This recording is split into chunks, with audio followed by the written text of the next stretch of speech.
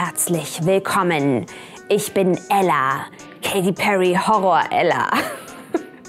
Feiert ihr Halloween? Ich tue es, wie man eventuell sehen kann. Und wenn ihr Halloween feiert, kennt ihr es wahrscheinlich auch, dass man tausend richtig gute Kostümideen findet, die aber entweder unfassbar aufwendig sind oder viel zu teuer. Ich habe heute den Katy Perry Horror Look für euch und der ist ganz einfach zu machen mit drei Dingen und zwar weißer Theaterschminke, rotem Lippenstift und schwarzem Lidschatten.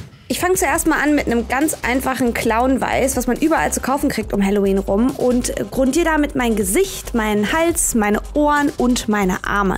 Ihr könnt das Weiß auftragen mit einem Pinsel, mit einem Schwamm, mit den Händen, was auch immer für euch funktioniert. Ich nehme am liebsten meine Hände. Als nächstes schnappe ich mir so einen Blendepinsel und einfach einen schwarzen, matten Lidschatten und fange an, meine Augen oben und unten ein bisschen zu umranden. Mit dem schwarzen Lidschatten gehe ich auch an meiner Nase runter, um die einfach so ein bisschen noch mehr zu betonen und so ein bisschen gruselig aussehen zu lassen.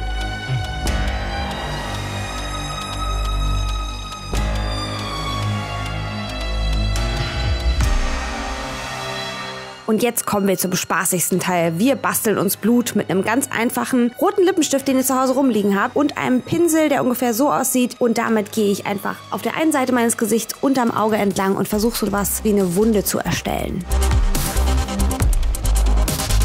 Das mache ich direkt unterm Auge und auch so ein bisschen am Kinn. Ihr könnt eure Wunden natürlich hinmachen, wo ihr wollt. In meiner Vorstellung bin ich ein bisschen auf die Nase gefallen, deswegen habe ich es unterm Auge, unten am Kinn und am Arm. Unsere Wunde ist natürlich nicht super sauber, sondern richtig dreckig. Deswegen gehe ich auch nochmal mit einem schwarzen Lidschatten ein bisschen über das Rot.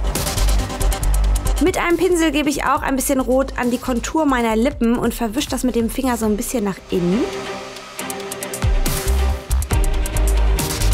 Und um den Dreck noch mehr hervorzuheben, gehe ich mit einem schwarzen Kajalstift nochmal über meine Wunde. Einfach so in leichten Bewegungen kleine schwarze Striche ziehen. Das sieht dann noch mehr nach komischem Schorf mit Blut drauf aus.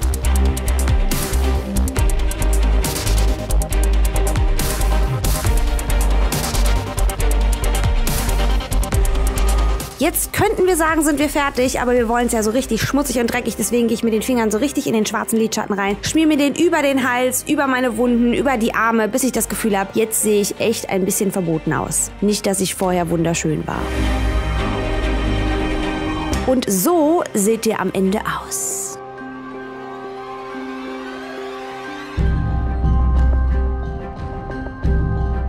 Ich habe nicht zu viel versprochen. Es ist wirklich super einfach zu machen und selbst wenn ihr kein Schminkprofi seid, solltet ihr das hier hinkriegen. Wenn ich das kann, könnt ihr das auch. Wenn ihr jetzt also einen Look für die Halloween-Party habt und ihr braucht noch Rezepte für die Halloween-Party, dann guckt gerne mal hinter dem i. Ansonsten würden wir uns natürlich sehr über einen Daumen hoch freuen. Abonniert den Kanal und wir sehen uns im nächsten Video. Bis dann. Tschüss.